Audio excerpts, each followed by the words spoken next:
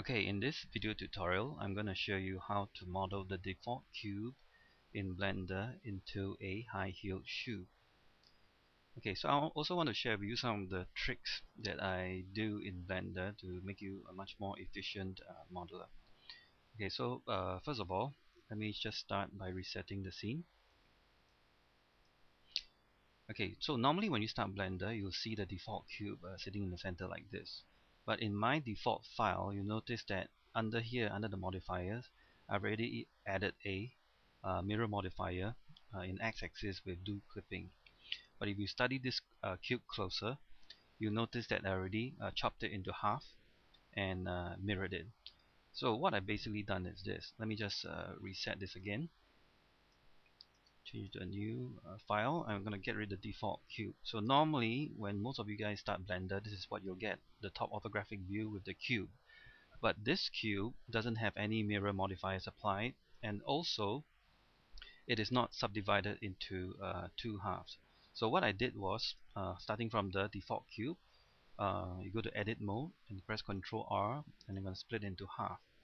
And then I will just uh, press my box select press B left mouse click and drag so delete away half of it. And then I apply my modifier the mirror modifier. So by default it's under the x-axis and I'll turn on the do clipping. So by now you should know if I turn on do clipping if I grab this half uh, the center will always be stuck together. And then I change it back to my top view. And I what I did was okay let me uh, position this everything neatly first then I will save this as a default settings. So every time we run blender you will already have a cube already have the mirror uh, applied and already split into half. Now why do I do this? Because um, I don't want to always start blender and then do all these steps all over again. So if I have all this already done it already saved me a number of steps. Okay so let's get started by modeling the high-heeled shoe now, before you're starting uh, modeling, it's always a good idea to either sketch out your model or at least find a uh, good reference uh, photo. Now, in this case, I found a very good photo on the internet. So let me just split this first. Split the view here first. We'll just right mouse click here and uh, split this. And I'm going to change this into the UV image editor. I'm going to click on image, open, and I'm going to navigate to the folder containing my uh, image reference.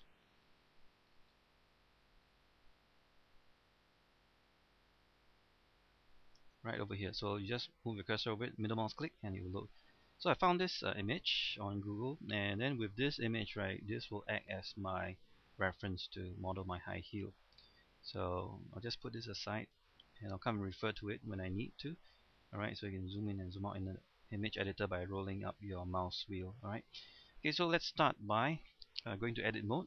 Okay since I already split this into half and mirrored it I'm gonna first scale it in the y-axis slightly like this. Then I'm gonna press ctrl R to bring up my loop cut and roll it up once so that it cuts into two cuts like this. Okay next thing I want to do is uh, I want to grab the this face here. Right mouse click select this and then just pull it out like this and this face I'll just pull it down like that. Alright. So the next thing I want to do is I want to just uh, select this face and just pull it back inwards like this and switch to edge mode. Grab this edge. Just push it in just like this. And very quickly you can see the high heel shoe is the basic shape is coming out really really soon and uh, now I'm just gonna navigate to the bottom face here. Switch over the face mode pressing ctrl tab go to face mode right mouse click and select this face. Press E to extrude and then just pull out the heel. Okay so now right now I'm gonna go to the side view. The heel look a little bit large but that's not a problem. Okay I'm gonna just move it down until it's aligned uh, to the front edge here. So I'm just gonna press S to scale it down and then pull it back a little bit. Okay and uh, next thing I want to do is you can actually apply a subsurf modifier so again my favorite method of applying subsurf modifier is to press the shortcut control 3 or you can just apply, add the modifier here subsurf okay so I'm going to use my shortcut key control 3 so it is subsurf to look like this and then uh, right under the buttons panel, under the links and materials, I'm going to say click on this set smooth. Okay, so there are a couple of ways to set smooth. If you're in edit mode, make sure you select all the faces and then you press W and then under the specials there's a set smooth and set solid. Make sure it's not smooth that you select but under set smooth. Okay, so set smooth actually changes the look of the faces whereas smooth actually modifies the geometry. Right, so once I've done that, uh, right now I'm in edit mode, so um, I'm just going to modify this uh, mesh a little bit more. Okay, so now what I'm to do is I'm to delete these top faces, press X to delete, and you will have the opening of your high heel shoe. I'll switch the vertices, and going to pull this up slightly. Okay, I want to add some slight definition around this edge here, so I just press, press Control R around the edge here, left mouse click, and then just uh, move the edge all the way up here. Okay, I want to have a gradual uh, edge that transit down to a narrow uh, tip here. So I'm going to switch over to edge mode and edge mode and right mouse click select this edge and just going to pull it back up right here. Okay, and then uh, in order to get rid of this rounded uh, look, I'm going to add another edge loop right close to here.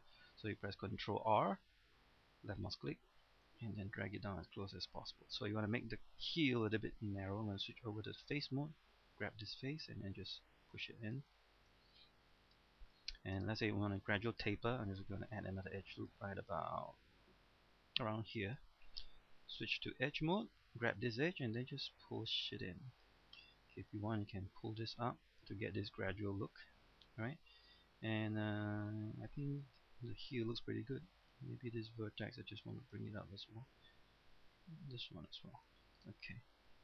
So now let's just uh, make this a little bit more defined. Like the front part of the, uh, the, the ball area here I'm gonna select the face and I'm gonna press E to extrude uh, extrude another small face out just a tiny little bit and then press S to scale it in slightly so it's got a slight bevel and you can see very quickly the basic shape of the high heel is ready up.